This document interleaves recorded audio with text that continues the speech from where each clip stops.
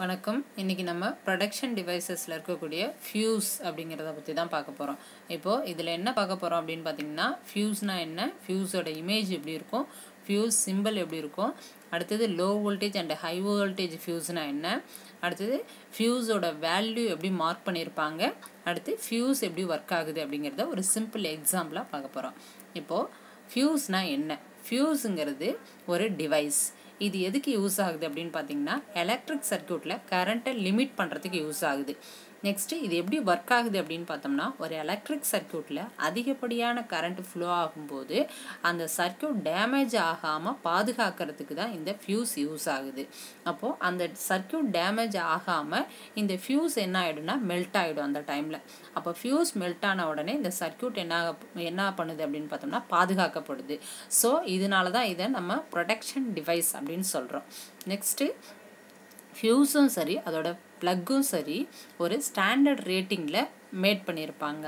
அது என்ன அப்படின்னு பார்த்தோம்னா three amps five amps thirteen amps sixteen amps அந்த மாதிரி ஸ்டாண்டர்ட் ரேட்டிங்கில் மேட் ஆகிருக்கும் நெக்ஸ்ட்டு இந்த ஃபியூஸ் எப்படி ஒர்க் ஆகுது அப்படின்னு பார்த்தோம்னா இப்போ நான் உதாரணத்துக்கு ஒரு one twenty volt five amps fuse எடுத்திருக்கேன். இதுக்கு நான் கொடுக்கக்கூடிய இன்புட் சப்ளை எவ்வளோ அப்படின்னு பார்த்தீங்கன்னா one twenty volt three amps எனக்கு வரக்கூடிய அவுட்புட் எவ்வளோ வரும் அப்படின்னு பார்த்தீங்கன்னா one twenty volt three amps என்ன காரணம் அப்படின்னு பார்த்தீங்கன்னா இப்போ நான் எடுத்துருக்கக்கூடிய ஃபியூஸ் என்னென்னா one twenty volt five amps but நான் கொடுக்கக்கூடிய இன்புட் எவ்வளோனா இந்த ஃபைவ் ஆம்ஸை விட கம்மியாக கொடுக்குறேன். One twenty volt three amps கொடுக்குறேன். ஸோ எனக்கு அதனால் இங்கே வரக்கூடிய அவுட்புட் வந்து one twenty volt three amps கிடைக்குது. என்னோட ஃபியூஸ் வந்து நார்மல் ஆப்ரேஷனில் இருக்குது ஆனால் அதுவே நான் இப்போது one twenty volt five amps ஃபியூஸுக்கு நான் கொடுக்கக்கூடிய இன்புட் சப்ளை எவ்வளோ அப்படின்னு பார்த்தீங்கன்னா one twenty volt six amps என்னோடய ஃபியூஸ் ரேட்டிங்கை விட அதிகமான சப்ளையை நான் இங்கே கொடுக்குறேன். அப்போது அதிகமான கரண்ட் ஃப்ளோ ஆனாவே என்ன ஆகும்? என்னோடய ஃபியூஸ் என்ன ஆகிடும் பேர்ன் ஆகிடும் அதாவது கட் ஆகிடும் அப்போ எனக்கு வரக்கூடிய அவுட்புட் வருமா? அவுட்புட்டுங்கிறது எனக்கு வராது.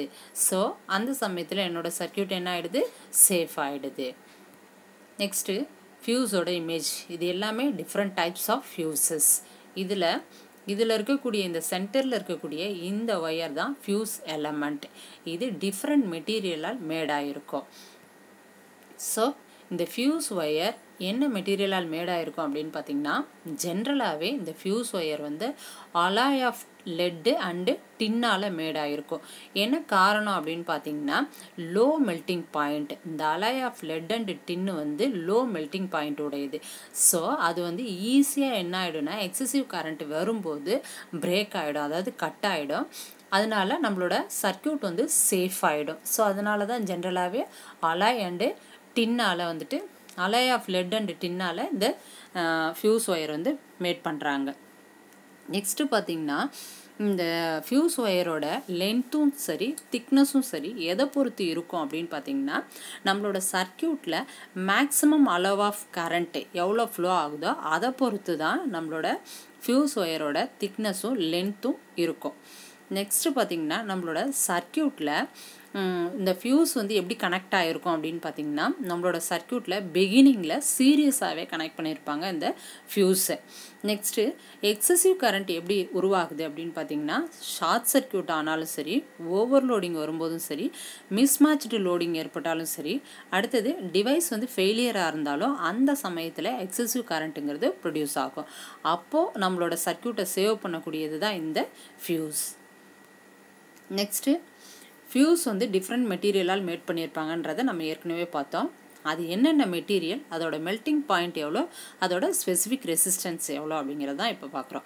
இப்போ பார்த்திங்கன்னா அலுமினியம் அலுமினியம் ஃபியூஸோட மெல்ட்டிங் பாயிண்ட் என்ன அப்படின்னு பார்த்திங்கன்னா அலுமினியம் மெட்டீரியலோட மெல்டிங் பாயிண்ட் என்ன அப்படின்னு பார்த்தீங்கன்னா two forty fair degree centi fahrenheit sorry two forty degree fahrenheit இதோட ஸ்பெசிஃபிக் ரெசிஸ்டன்ஸ் வந்து two point eight six micro ohm per centimetre next copper காப்பரோட melting point வந்து டூ தௌசண்ட் டிகிரி ஃபேரன்ஹிட் இதோட specific resistance வந்து one point seven two micro ohm per centimetre next lead லெட்டோட melting point என்ன அப்படின்னு பார்த்தோம்னா six twenty four degree fahrenheit அதோட specific resistance வந்து twenty one micro ohm per centimetre silver சில்வரோட melting point என்னென்னா thousand eight hundred and thirty degree fahrenheit அதோட specific resistance வந்து one point six four micro ohm per centimetre next tin டின்னோட melting point என்னென்னா four six three degree fahrenheit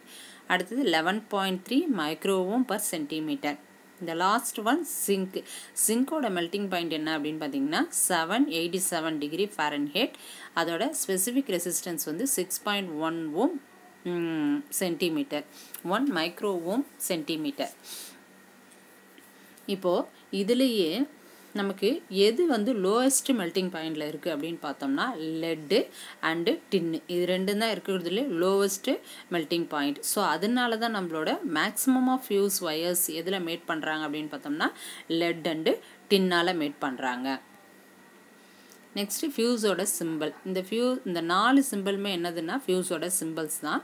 but இந்த ரெண்டு சிம்பிளும் ஃபியூஸோ அதாவது high voltage fuse symbol இந்த ஒன்று வந்து low voltage fuse symbol இந்த லாஸ்ட் ஒன் வந்து ஓல்டு சிம்பிள் ஏற்கனவே இருந்த இந்த பழைய symbol next low voltage fuse symbol இது வந்து low voltage fuse symbol next இந்த ஐஇசி அப்படிங்கிறது என்ன அப்படின்னு பார்த்தோம்னா ஐஇசியோட அப்ரிவேஷன் வந்து இன்டர்நேஷ்னல் எலக்ட்ரோ டெக்னிக்கல் கமிஷன் அப்படிங்கிறது தான் இந்த ஐஇசி ஸோ இது எல்லாமே low voltage fuses next high voltage fuses high voltage ஃபியூசஸில் இந்த ரெண்டு சிம்பிளுமே ஹை வோல்டேஜ் ஃபியூஸ் சிம்பிள் இதில் ஐ ட்ரிபிள்இ அப்படிங்கிறது என்ன அப்படின்னு பார்த்தோம்னா institute of electrical and electronics engineering so இது எல்லாமே ஹை வோல்டேஜ் ஃபியூசஸ் நெக்ஸ்ட்டு ஒரு ஃபியூஸில் அதோட வேல்யூஸ் மார்க் பண்ணியிருப்பாங்க. இப்போது இது வந்து ஒரு கேட்ரேஜ் ஃபியூஸு இதோட கேப்பில் சம் வேல்யூஸ் மார்க் பண்ணியிருப்பாங்க. உதாரணத்துக்கு T three point one five A H two fifty volt அப்படின்னு மார்க் பண்ணியிருப்பாங்க இந்த கேப்பில் இது இப்போது இதோட அப்ரிவேஷன் என்ன அப்படின்னு பார்த்தோம்னா டீனா என்ன அப்படின்னு பார்த்தோம்னா ஸ்லோ ஆக்டிங் அப்படிங்கிறதா இந்த T three point one five A அப்படிங்கிறது என்ன அப்படின்னு பார்த்தோம்னா இதோட ஆம்பியர் ரேட்டிங் அதாவது கரண்ட் ரேட்டிங் ஹெச் அப்படிங்கிறது என்ன அப்படின்னு பார்த்தோம்னா ஹை பிரேக்கிங் கெப்பாசிட்டி அதாவது இந்த ஃபியூஸோட breaking capacity two fifty V அப்படின்னா என்ன அப்படின்னு பார்த்தோம்னா இதோட வோல்டேஜ் ரேட்டிங் அதாவது இந்த ஃபியூஸுக்கு டூ ஃபிஃப்டி வோல்ட் வரைக்கும் சப்ளை கொடுக்கலாம். ஆர் அதுக்கும் கம்மியான சப்ளை கொடுக்கலாம். அதுக்கும் அதிகப்படியான சப்ளை ஃப்ளோ ஆகும்போது இந்த ஃபியூஸ் என்ன ஆகிடும்னா மெல்ட் ஆகிடும் நெக்ஸ்ட்டு ஒரு சிம்பிள் எக்ஸாம்பிள் என்ன அப்படின்னு பார்த்தோம்னா நான் இப்போ ஒரு சர்க்கியூட் கனெக்ட் பண்ணியிருக்கேன். இந்த சர்க்கியூட்டில் ஒரு கெட்டில் கனெக்ட் பண்ணியிருக்கேன். இந்த அதாவது லைன் கொடுத்துருக்கேன். இந்த லைனில் என்ன கொடுத்துருக்கேன்னா ஒரு ஃபியூஸை கனெக்ட் பண்ணியிருக்கேன் சீரியஸாக அடுத்தது கெட்டிலில் கொண்டு வந்து கொடுத்தாச்சு. இது நியூட்ரல் வந்து டேரெக்டாக எடுத்தாச்சு. இப்போ வந்து எனக்கு நார்மல் சப்ளை ஃப்ளோ ஆகுது. நார்மலான கரண்ட் இப்போ இந்த கெட்டிலோட ஆம்ஸ் ரேட்டிங் எவ்வளோனா பதிமூணு ஆம்ஸ் இந்த ஃப பதிமூணு ஆம்ஸ் வரைக்கும் தான் என்னோடய கெட்டிலுக்கு சப்ளை ஃப்ளோ ஆகிட்டுருக்கு ஸோ இது வந்து நார்மல் கண்டிஷனில் என்னோட கெட்டில் வந்து ஒர்க் ஆகிட்டுருக்கு அதுவே இப்போது இந்த பதிமூணு ஆம்ஸுக்கு மேலே ஃபார் எக்ஸாம்பிள் ஒரு பதினஞ்சு ஆம்ஸ் ஃப்ளோ ஆகுதுன்னு வச்சுக்கோங்க. இப்போ பதினஞ்சு ஆம்ஸ் ஃப்ளோ ஆகும்போது என்னோடய ஃபியூஸ் என்ன ஆகுதுன்னா கட் ஆகிடுது அப்போது என்னோடய ஃபியூஸ் கட் ஆன உடனே இந்த சைடு என்ன ஆகுனா சப்ளை ஃப்ளோ ஆகாது. என்னோடய கெட்டில் வந்து நாட் ஒர்க்கிங் கண்டிஷனில் இருக்குது ஸோ இதுதான் இந்த சர்க்கியூட் இது வரைக்கும் நம்ம பார்த்தது ஃபியூஸு ஃபியூஸோட சிம்பிள் ஃபியூஸோட இமேஜ் இதெல்லாம் பார்த்தோம். நெக்ஸ்ட்டு கிளாஸில் ஃபியூஸ் ரேட்டிங் அந்த ஃபியூஸ் ரேட்டிங்கை எப்படி கால்குலேட் பண்ணுறது அப்படிங்கிறத வரைக்கும் பார்க்கலாம். தேங்க்யூ